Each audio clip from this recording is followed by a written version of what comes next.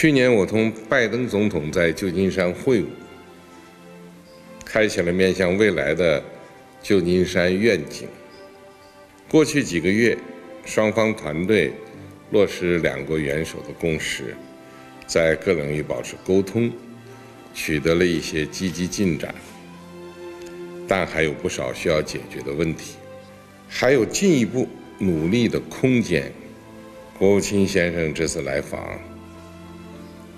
是我同拜登总统几周前通话时定下来的，